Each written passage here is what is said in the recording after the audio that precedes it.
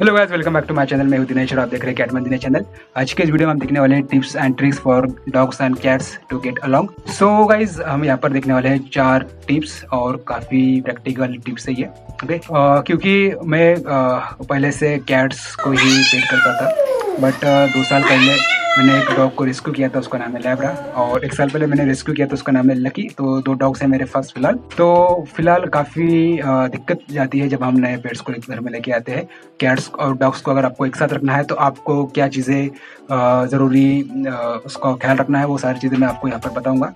First time अगर आप cats को और डॉग्स को एक साथ रखना चाहते हैं या फिर एक साथ आप मिलवाना चाहते हैं, उसके लिए आपको क्या चीज़ें करनी होगी, वो आपको मैं इस वीडियो में बताने जा रहा हूँ। तो वीडियो को आखिर तक देखिए। शॉर्ट वीडियो है और ज़्यादा आपका मैं समय लूँगा नहीं। तो टिप नंबर वन है स्लो एंड स्टडी इंट्रोडक्शन सबसे पहला टिप है अपने डॉग और कैट को धीरे धीरे मिलाए एक दूसरे से। ओके क्योंकि उनको एक दूसरे को समझने में टाइम लगेगा। एक दूसरे का वो स्मेल लेंगे। और ऐसे तो होगा क्या दोस्तों? वो दूर से क्यों ना हो बट एक दूसरे को वो जानने की कोशिश करेंगे। ओके जैसे कि अगर आप अलग अलग रूम में रख सकते हो डॉग्स को या फिर कैट्स को। ओके और दरवाजे के नीचे से आप उनको मिलाना शुरू कर सकते हो, ताकि वो एक दूसरे को स्मेल से या पहचान सके। ओके मतलब डायरेक्टली आप मिलवाए नहीं उनसे।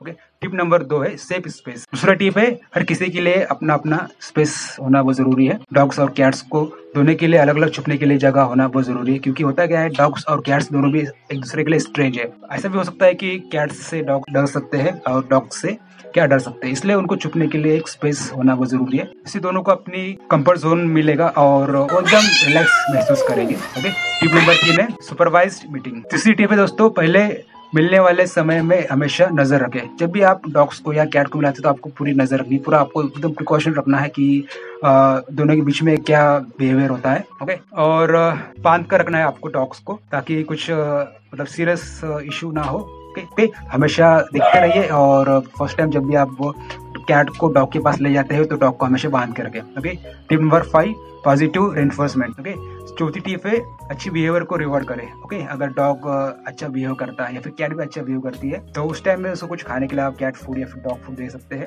ऐसे तो होगा क्या? उन्हें ट्रीट मिलेंगी और एप्रिसिएशन देखकर उनका वो खुश हो गए ओके और यहाँ पर हम देखेंगे टिप नंबर फाइव कंसिस्टेंसी और जब भी आप डॉग और कैट को मिलाते हैं आपको रोज़ मिलवाना है रोज़ एक दूसरे के पास ले जाना है ओके?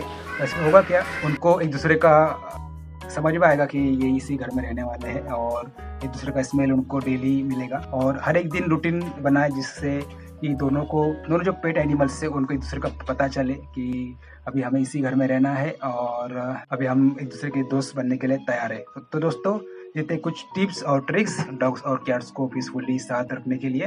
हमेशा प्यार और समझदारी से पास रहने से वो एक दूसरे को एक्सेप्ट करेंगे, जैसे कि आपने वीडियो में देखा है। अगर आपको ये वीडियो पसंद आया हो तो वीडियो को लाइक करें शेयर करें और सब्सक्राइब करना ना भूलें।